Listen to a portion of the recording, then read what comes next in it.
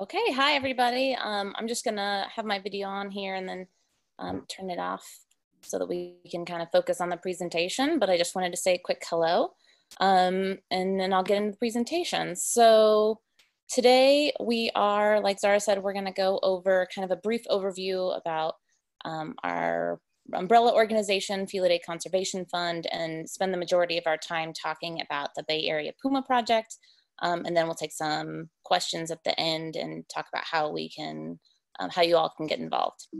Um, so to start with, Felidae Conservation Fund, this is our umbrella organization. Um, this organization was founded in 2006 by Zara, who is an entrepreneur and biologist. Um, the mission of the organization is really to um, strengthen native wildcat populations and doing that from a, a three pronged approach using research, education, and community stewardship together um, to really conserve these animals. Um, here is our team. So Kat Gaio is our office manager. Ginger is our um, ED. Um, then there's a picture of me. I'm the co-PI and my daughter, Bibi, who is the uh, chief distractor for our organization. Um, she's the cutest, best baby of all time. And then um, David Stoner is my co-PI. He's works out at Utah State University. Um, so Felidae organization, Felidae Conservation Fund has worked in 19 different countries on a variety of different wildcat species. We currently have over 100 remote global volunteers. Um, you can see from the list the, the, the, wide variety of species that we've worked with. Um, and we're actually going to get a chance through these webinar series to um, learn a bit more about some of those projects. Specifically next week, we have Sherry talking about the Tsavo Cheetah project. Um, and then we'll also have one about our Chilean Puma project coming up. So if that's something that interests you, definitely um, register for those seminars as well. Okay, so why do we focus on wildcats? And there's really two main reasons. And one is they have an outsized role in the ecosystems where um, where they live, and also a whole lot of charisma packed into these animals. So a little bit more here. Um, there's kind of a subtle difference between a, a keystone species and an indicator species. Um, keystone species are ones that really hold an ecosystem together. They, in their absence, um, a whole ecosystem can crumble apart. So they're absolutely vital. An indicator species, on the other hand, is one that's kind of these canary in the coal mine species. Um, they're very sensitive to disturbances um, and their loss or addition to an ecosystem really can give you an indication of quality of that environment. Um, apex predators, of which wildcats are frequently one, um, apex predators really fall in between being both of these species. So because of their large habitat requirements, um, they're very important indicator species, um, but they also have a, some really important top-down ecological effects on the communities, which makes them keystone species. So um, on top of that, I mean, these, just look at these animals. They're beautiful, they're um, charismatic, they're majestic, they're strong, they're adorable. Um, so they really are a whole package here. Okay, so that's just a really brief overview of Felidae Conservation Fund. Um, now I'm gonna spend most of this talk um, discussing Felidae's flagship research project, which is the Bay Area Puma Project. So the project itself was founded about a year after um, Felidae was founded, um, with the goal of really conserving pumas and bobcats in their wild habitats in the San Francisco Bay Area. So originally we were working with um, colleagues at uh, University or UC Santa Cruz. Um, we eventually split off into two separate projects. UC Santa Cruz Puma project is still going strong. They're doing a lot of collaring and really important research down there.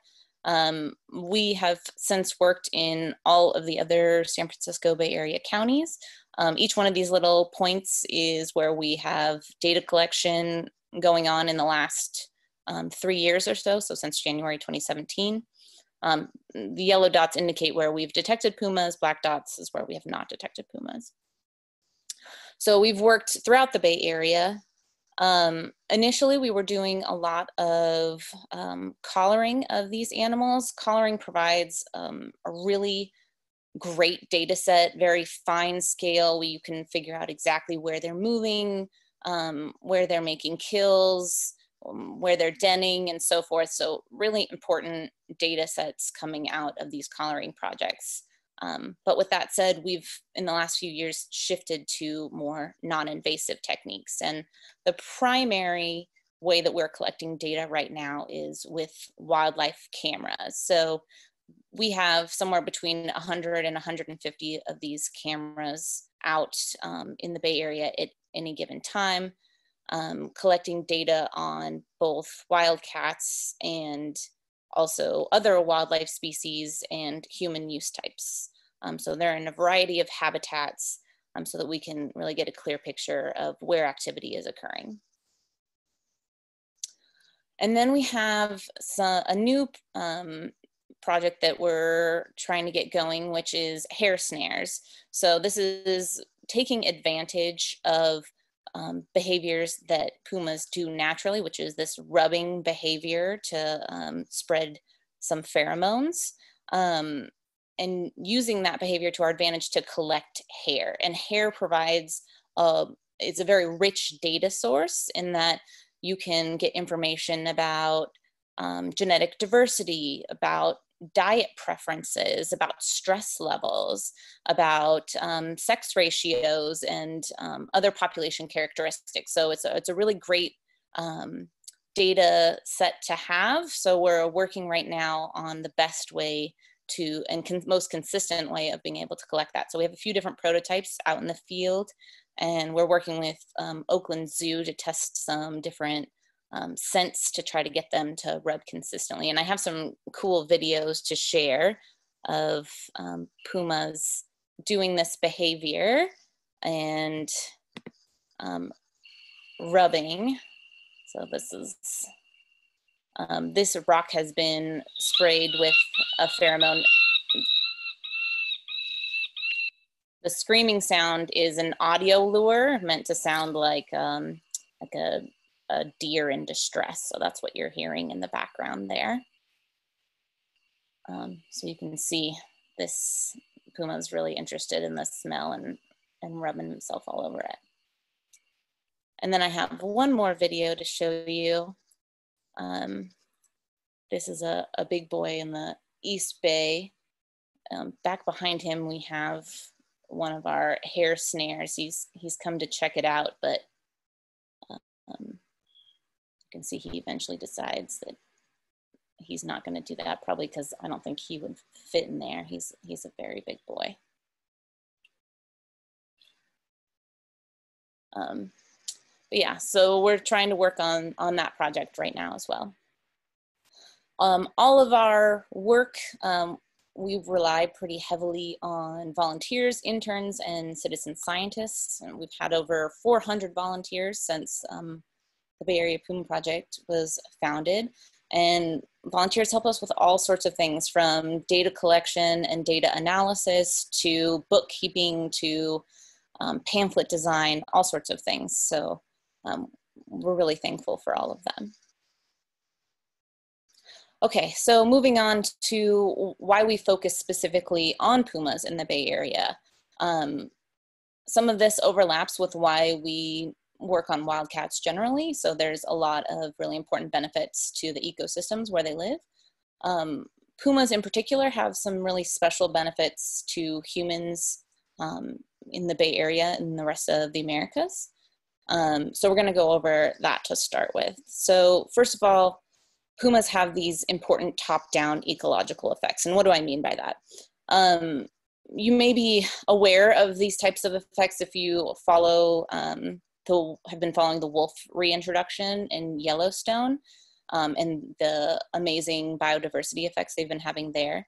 Pumas have that same effect here um, on the West Coast. So when they're present, we see much higher biodiversity. And that's because when they're absent, we see an overpopulation of ungulates. So in our case, that's um, mule deer, but in other parts of the country, that would be elk or whitetail deer. Anyway, when these ungulates become overpopulated, they just absolutely decimate vegetation. And without that vegetation, um, there's nowhere for frogs and birds to have their nests and lay their eggs. The, um, you don't have the wildflowers needed for the biodiversity of insects and butterflies and so forth. Um, so that's what I mean by having these um, top-down ecological effects. Pumas are also what we call ecosystem engineers. They really change the composition of um, the ecosystems where they live. Um, and one of the ways they do this, there's been some research that shows that puma prey carcasses are incredibly important. Um, in one aspect, they in, have been shown to increase the soil microbe and invertebrate biodiversity. So lots of um, extra biodiversity in the soil itself, which in turn um, allows for increased plant biodiversity. Um, and having a lot more of these um, bugs, worms, other invertebrate species means there's more food and more diverse food sources for insectivores like opossums and um, a range of small bird species, songbird species, excuse me. Um, prey carcasses also have really direct um, benefits to scavengers like vultures um, that will eat leftovers and even small scavengers like uh, rodents will sometimes gnaw on the bones afterwards to um, reach their calcium requirements. And we actually have this really interesting video. This is a puma prey carcass that we found, put up a camera on, and you can see there's both a bobcat and a coyote scavenging at the same time off of this carcass, which is just absolutely amazing. Um,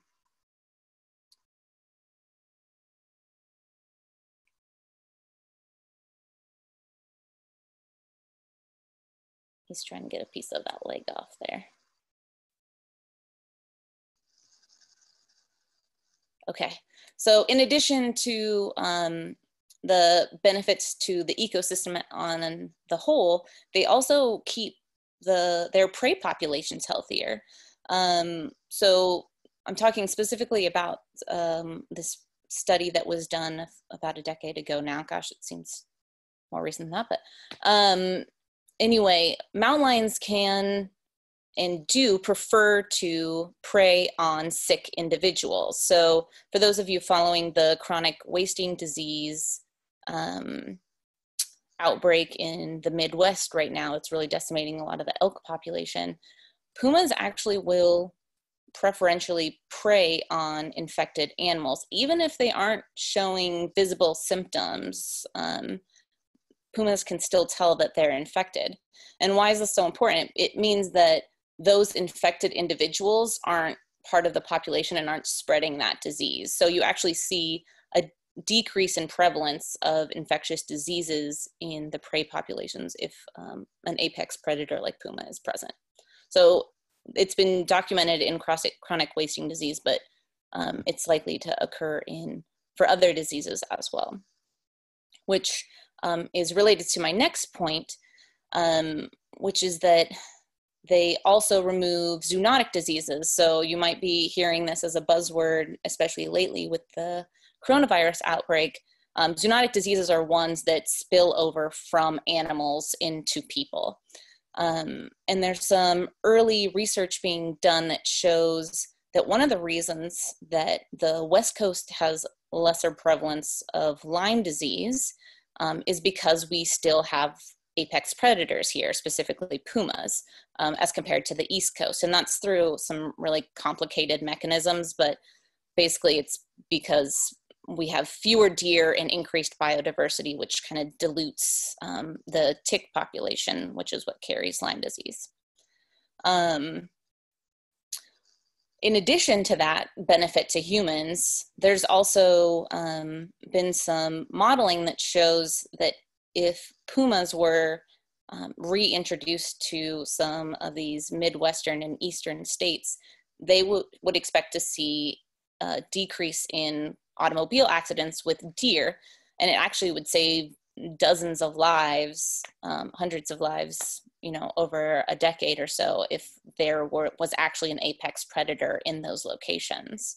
Um, so, of course, I mean, why do we care about puma specifically? Surely there are other apex predators that provide these same sorts of services, right?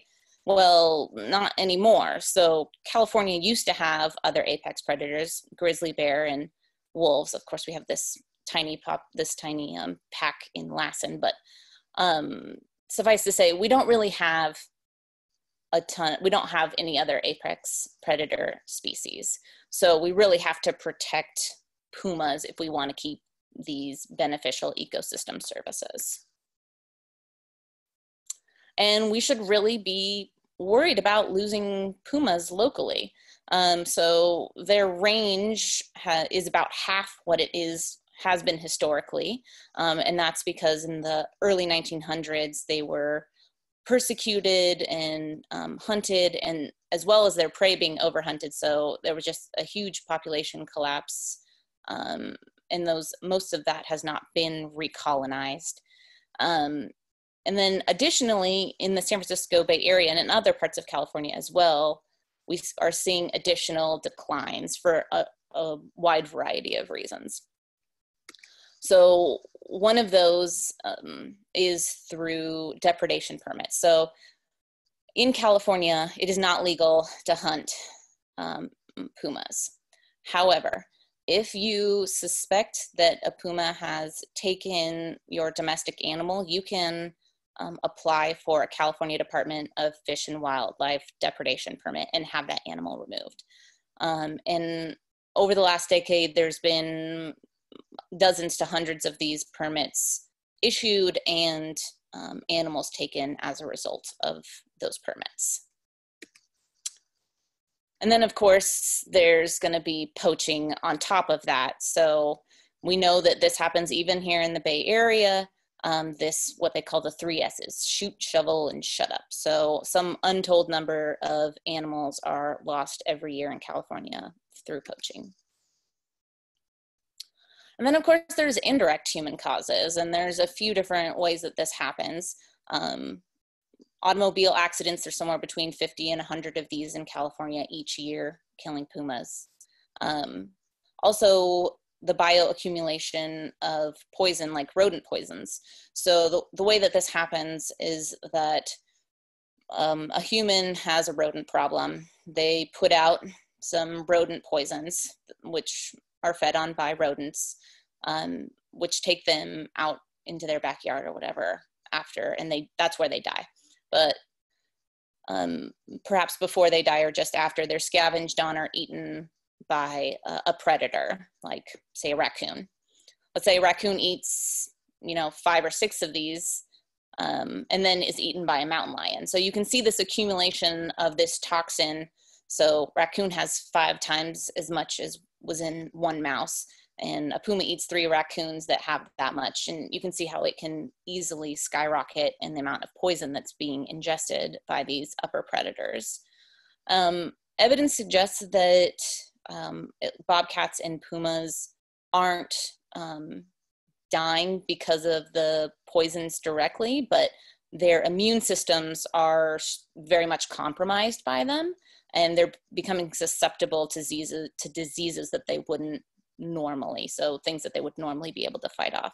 In fact, this is um, one of the reasons why there's been a huge collapse in the bobcat population in Southern California they think that it's because um, they have so much rodenticide that um, they've become susceptible to mange, and mange was what was actually killing them. But um, normally that wouldn't have happened in that population. And then, of course, habitat changes. So this is going to be much more important in places that are developing, such as the San Francisco Bay Area. Um, pumas um, really like intact forests.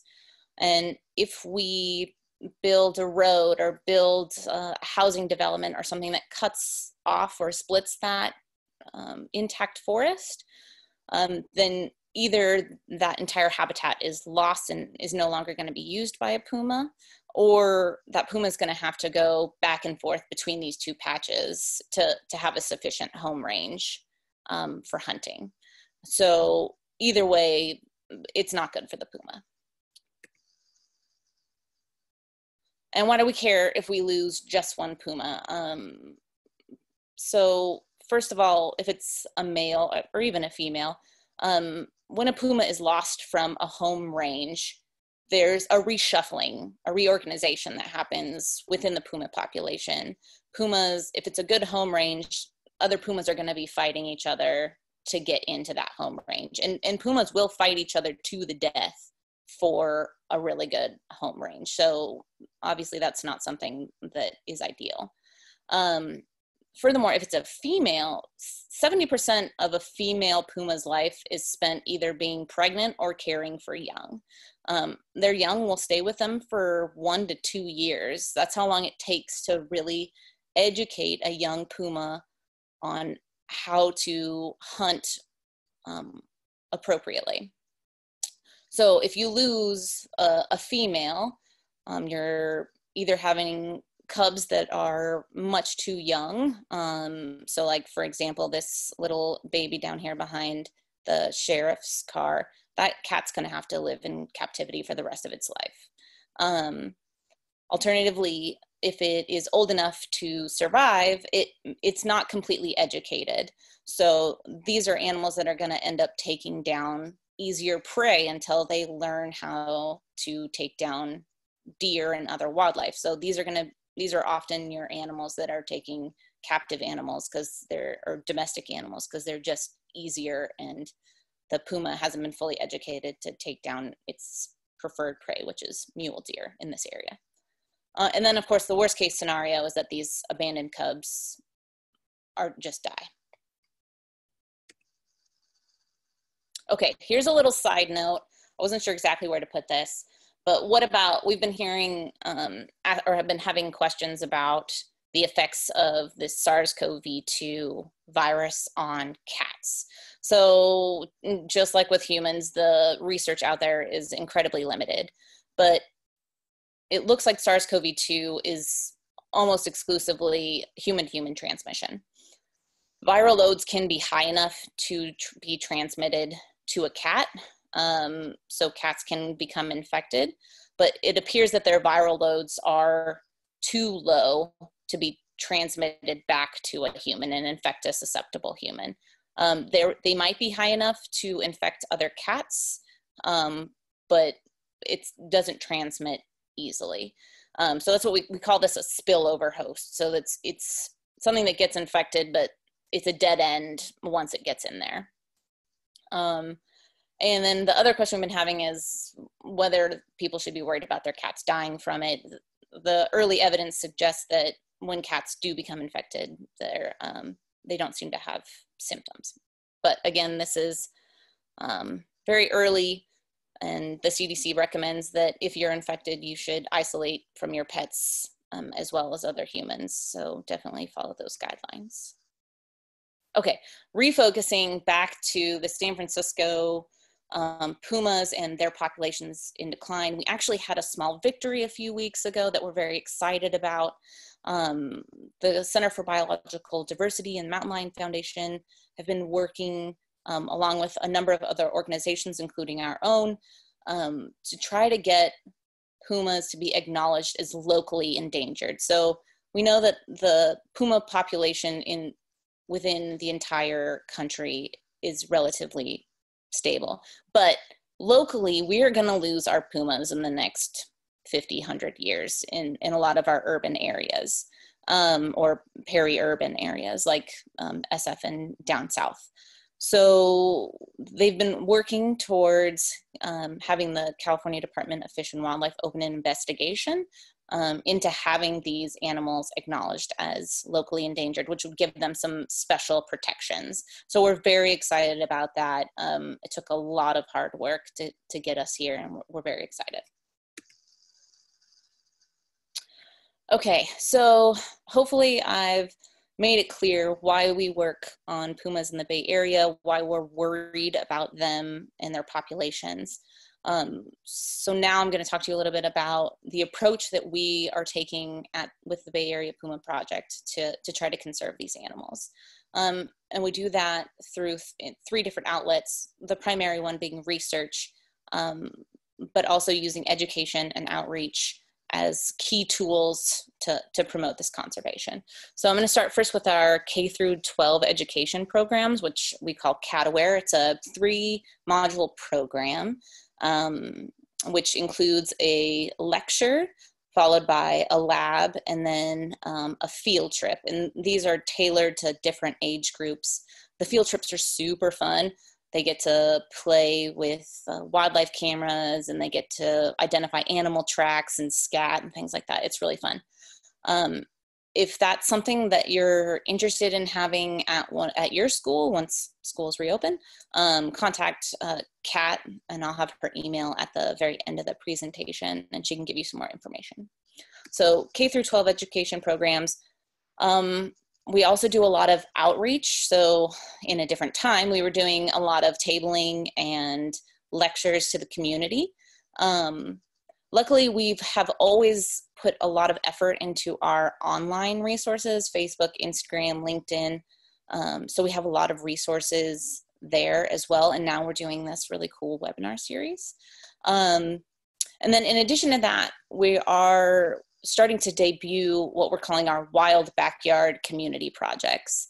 Um, these are projects where the community really comes together and voices their concerns and works together to collect the data that um, they think their community needs to answer questions about conserving wildlife. Um, I'm not going to go into it too much here uh, because we're actually going to have a webinar specifically on this topic on May 28th. So if that's something that you're interested in, definitely register for that um, webinar as well. Okay, now getting into our research priorities. So our interest is really in preserving healthy individuals and healthy puma populations. And these are um, only subtly different, but um, by conserving healthy individuals, we're talking about, you know, reducing hunting and reducing the impacts of rodenticides and those types of things that can um, impact specific individuals, and also while also maintaining a healthy population. So that means um, connectivity between uh, different habitat patches and um, maintaining genetic diversity in that population. Um, on top of that, we're really interested in monitoring where puma activity occurs and, and when it is occurring, um, puma and other wildlife, bobcats and so forth. Um, so knowing where animals are moving at what times and both um, seasonally and you know daily. Um, and we're really interested in exploiting non-invasive techniques to do this work. Um, so now I'm going to kind of talk a little bit about some research projects that we've recently completed and um, then talk a little bit about some projects that we are we have ongoing. So we'll talk about three projects that we've completed in the last year or two. Um, the first one is our Puma, what we what we call our Puma body condition paper. So we were really interested in the health of pumas in three different habitat types in the San Francisco Bay Area. In a natural habitat, so the picture I have up here is Crystal Springs Reservoir on the San Mateo or the um, San Francisco Peninsula. This is really pristine habitat. Um, there's very little human activity here because it's close to the public.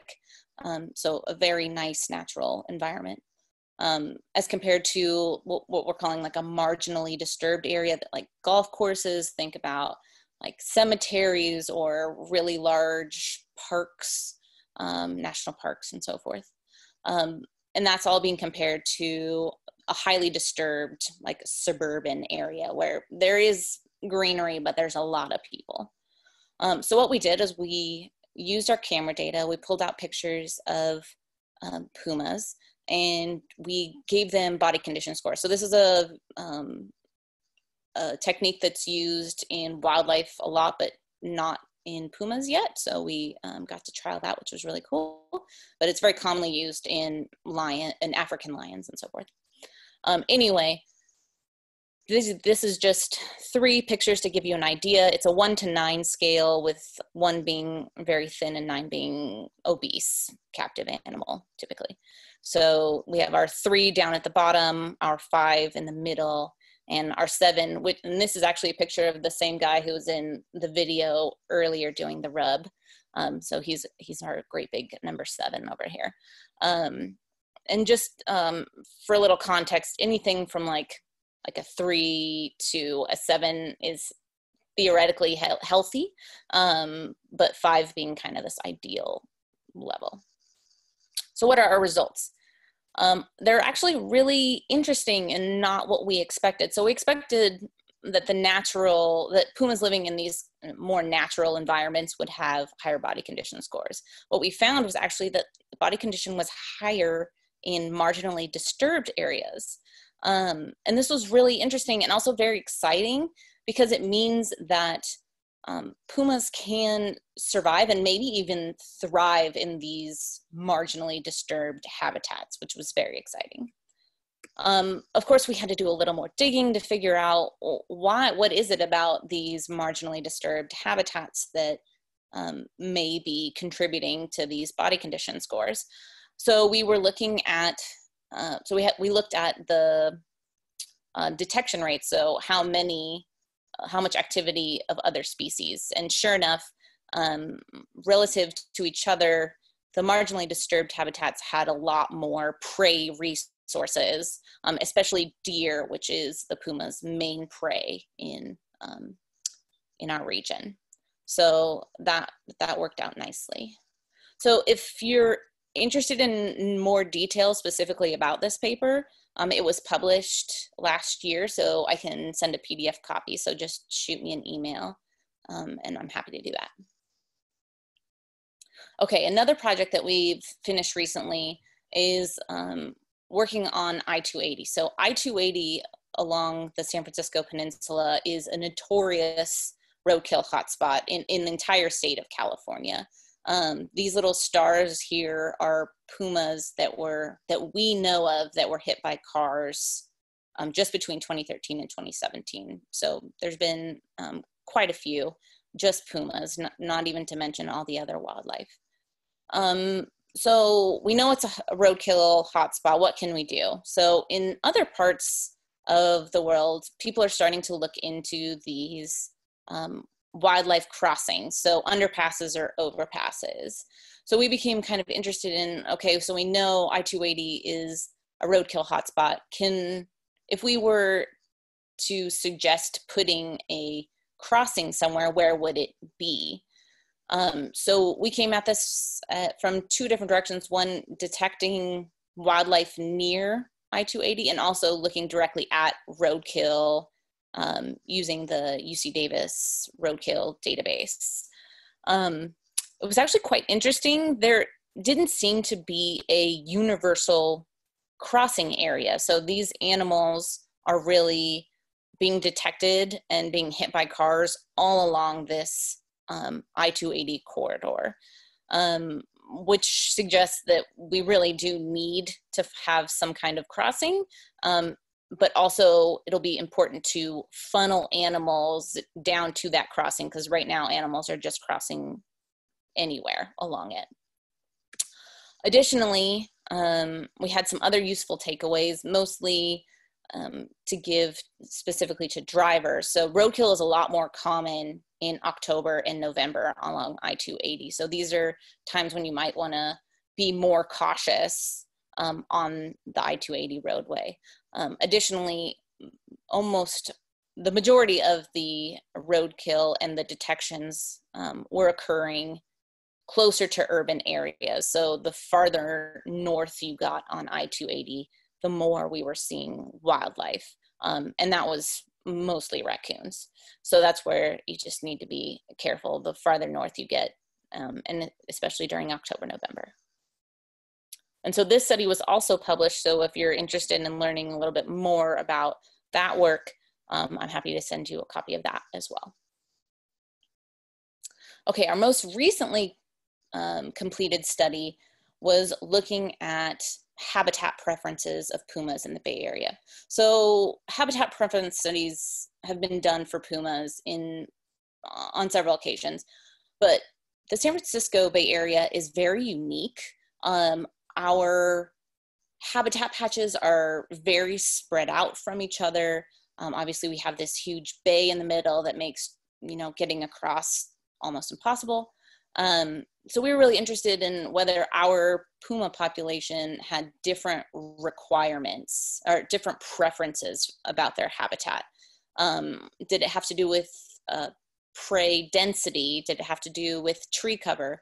Um, pumas are stalk and ambush predators, so they really need tree cover to successfully hunt, um, to be to be their stealthy selves, ideal stealthy selves. Um, do they require some level of slope or rugged terrain? Um, and of course, naturalness. We have a lot of people here. Like, at what threshold um, do we, or is it important that um, humans are away from the pumas? So, our results suggest that really the most important predictor of um, puma presence or puma occupancy is what we call it um, is forest cover. So they're really looking for forested areas. Um, of course, prey had to be present, but prey density was not an important predictor, and neither was um, human or human disturbance levels. So that was pretty interesting, but of course, uh, led to a number of follow up questions that we'll talk about. Um, if you're interested in this model that we developed for uh, Puma occupancy, it also has information about um, deer occupancy in it as well. Um, feel free to email me and I can show you that PDF as well. Okay, so I'm gonna kind of shift now to our ongoing research, starting with um, a follow-up to that occupancy study that I was just talking about.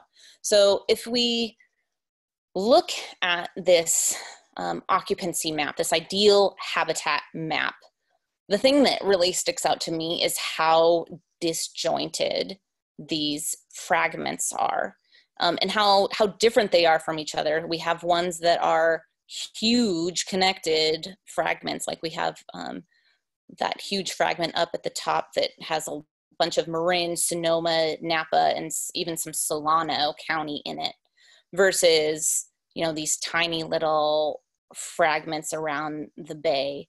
Um, like even angel island is technically an ideal habitat.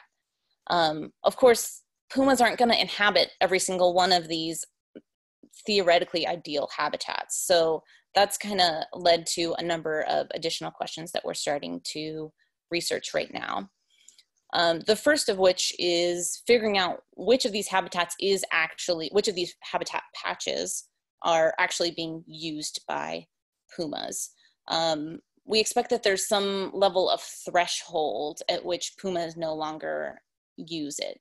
So obviously pumas have these very large habitat requirements. So the bigger the habitat patch, mm, it should be the better for the puma, right? Um, but they're not going to occupy teeny tiny little fragments. Um, so where is that threshold? It, this figure here is just a, a hypothesis that you know we're going to be much more likely to detect a puma in a large one as compared to a small one. And this isn't just for the patch area. This um, type of threshold analysis we're going to do for isolation. So, for example, Angel Island. Technically, it's got good habitat, but I don't suspect a whole lot of pumas swimming from Mill Valley to Angel Island. Um, so, how far away um, is too far away for a puma to travel? What is it? Is there anything important about what's in between the two patches um, about whether or not a puma will tra- traverse it and so forth? So that's the first step of um, this follow-up analysis. The second is that we know these patches are going to change um, for a variety of reasons. One, our population is growing and um, we're taking over, um, we're, we're cutting down some of this forested area, encroaching into it. Um, also, climate change, right? So, climate change is going to change how much of these forests survive, whether they burn down, and so forth. Um, so the way that we're going to be modeling that is using information about past growth. So these two pictures, two maps that I have up, um, the, one of them is from 1984 and one is from 2018. And you can see um, over that scale loss of the, some of these green spaces to, to urbanization, um, to agriculture and so forth. So we're going to use that kind of information about how it has changed in the past um, and then some information about the current infrastructure. Where do we currently have roads? What are the zoning laws? Is it private? Is it public land? Um, is it does it have a conservation easement on it, and so forth? And then also um, incorporate some climate change projections um, into our modeling so that we can get into phase three, which is what can we do now to conserve what what should we conserve now to maintain a healthy puma population? Okay and then the other project we have going on right now um, luckily we had you know 100 wildlife cameras out in the bay area already before coronavirus and the shelter in place orders um, started coming through um, you may have seen in san francisco the some of the coyotes are starting to take back the city um, so we're really interested in in the parks and the natural places that we work already, um, actually monitoring how how these how activity is changing. Um, so we've been working with our colleagues at, at different parks um, to be able to get in there and still maintain and service these cameras so that we can have a complete data set and really track how these things are changing. Um, and just as a side note, um, Puma sightings in resident, residential areas have not increased at all. So we've seen coyotes coming out, but pumas are still staying away from residential areas. So um, we haven't seen any change in behavior in that way. We're in more interested in these natural areas where we knew they already existed if they're um, coming around more frequently. Okay, so we are starting to wrap up, come to the end of our webinar here. Um, so I just wanna give you a few additional details. So first of all, we have a really great online presence. Um, Bay Area Puma Project has its own website, bap.org. Um, and then our Felidae Fund, which kind of talks about all of our global projects, um, has its own website. We're on Facebook, LinkedIn, Instagram, Twitter. We post some really cute, cool videos and photos from our um, wildlife trail cameras. Um, also, we have this is the first in at least six webinars. Um, so you can check out some maybe some of these other webinars as well. Um, and then a lot of you guys are maybe parents and looking for some educational um, activities for your children, we actually have a mobile app, uh, a mobile game called Puma Wild. It's really cool. You are a puma and you're hunting for deer um, in increasingly urban environments.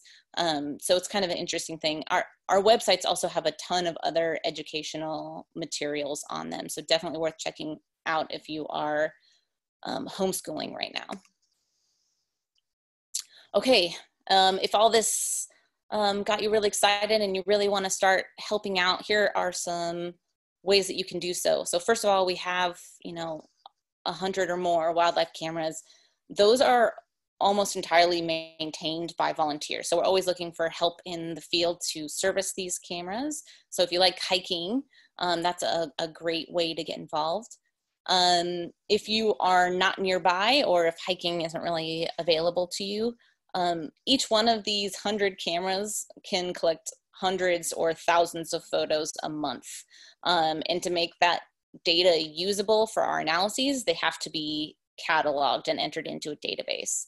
Um, so we're always looking for volunteers to help us catalog. That can be done remotely, um, so from your own home.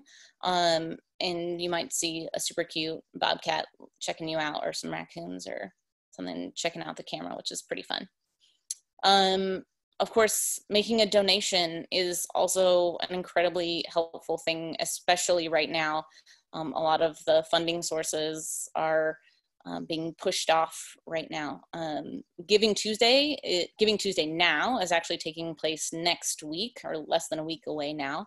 Um, so we have a GoFundMe page for the, our Giving Tuesday now. Um, so feel if you're feeling generous, that's the place to go. Um, lastly, if you see a puma um, or a bobcat, uh, please add it to our sightings map. So our um, Bay Area Puma Project website, bap.org, has a, uh, we collect sightings there, especially if you have a picture, it's really great. Um, we're gonna be using this, especially for our um, habitat patch analysis that I was talking about to um, determine which habitat patches are actually being used. So this is very useful data for us right now. So if you see something come across your next door, please add it to our sightings map. Um, and if you're interested in volunteering, reach out to um, Kat. She's uh, her email is here down at the bottom on the left. Okay, and then of course I want to say thank you so much to our volunteers, our interns, our citizen scientists, and our funders and supporters um, that make this work possible and at the scale that it's at right now. And then I have to leave you with a cute cat video, of course. Here's a mama and three little um, squiggly babies here from Crystal Springs Reservoir. Ugh, just love that video. So cute. Okay, and with that, um, I am happy to take some questions. Um, Zara is going to be joining us, and um, so if you have your questions, type them into your chat box and we will try to answer them. Actually, Q&A. So um, I've answered a bunch of the questions okay. and I, I can't, you know, I want to jump one at you right away, Courtney, so we can get through them because we don't have a lot of time. Okay. Can you, can you see the Q&A there where you are? Uh, no. Okay. Oh, wait. Let me see. Otherwise, I'll just read it out so that people know.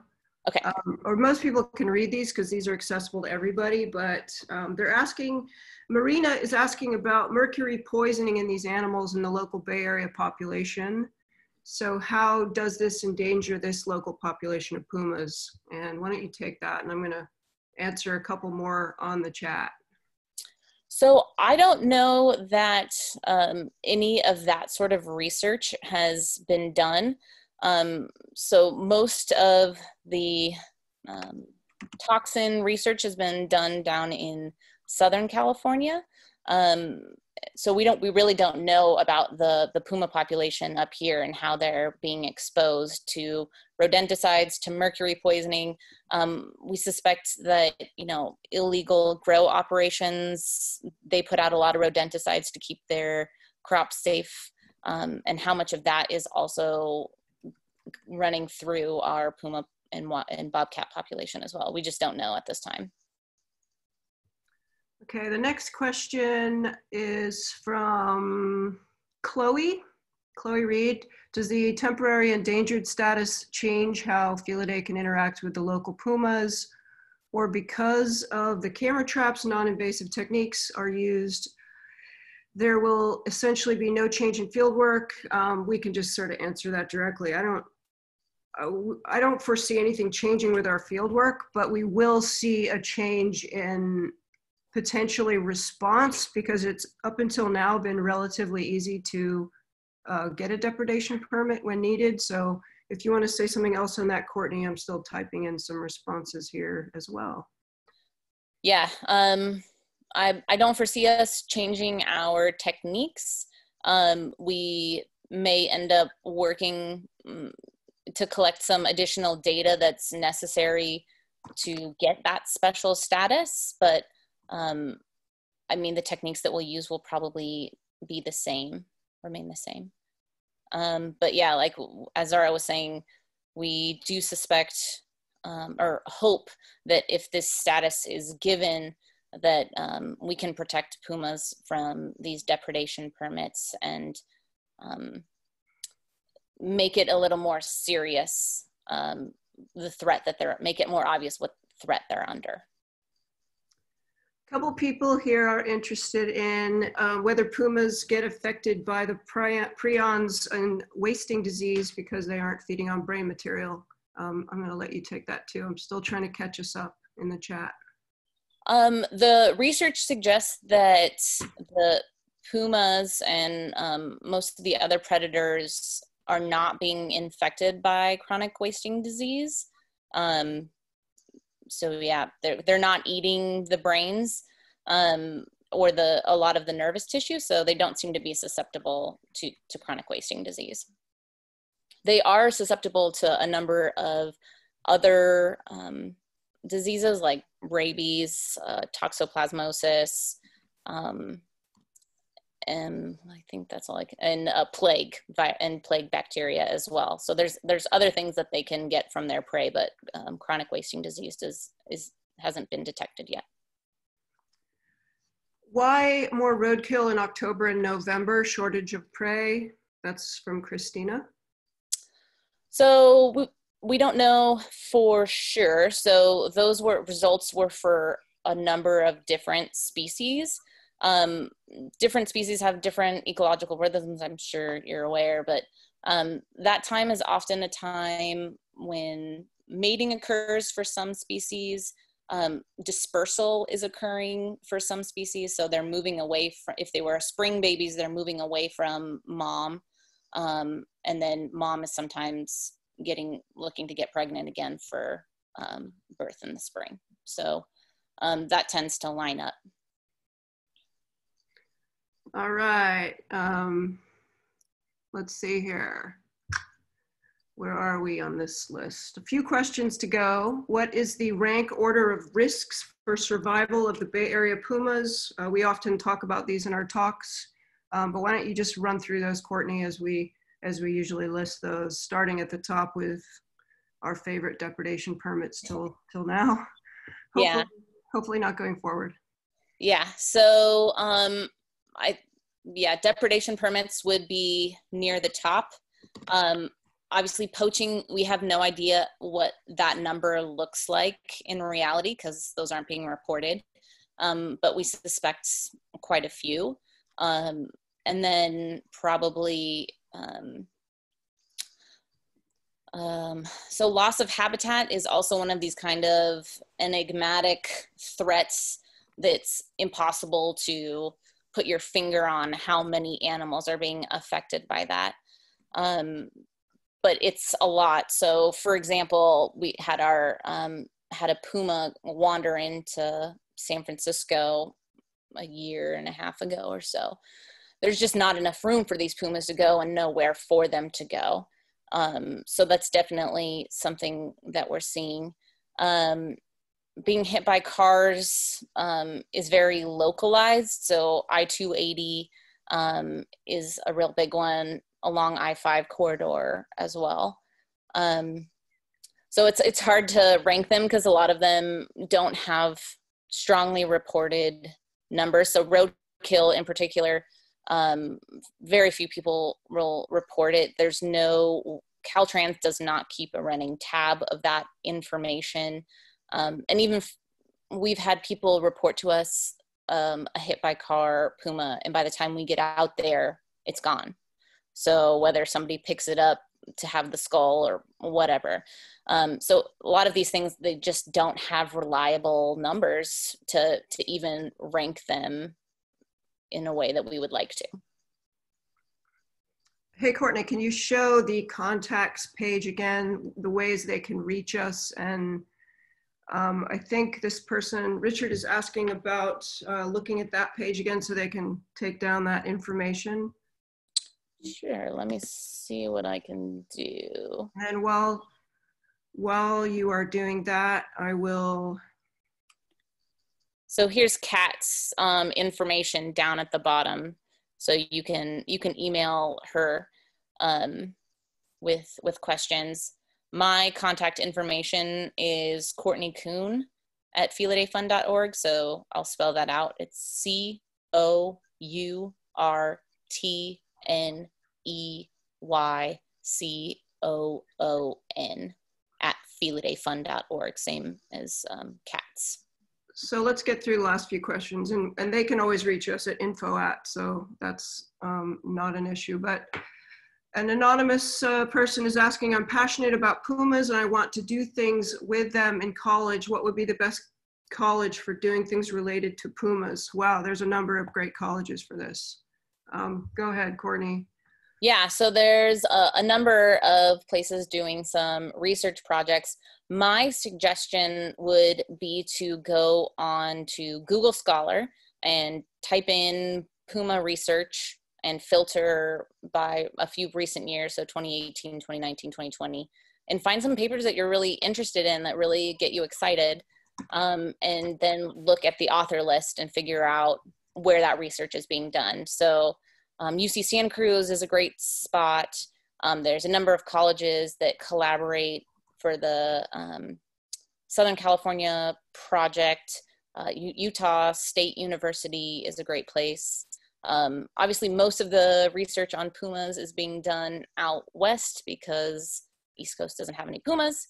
Um, so that's that's I think all I have on that. If you want more information, I'm happy to. You can send me an email and I can um, direct you a little bit further.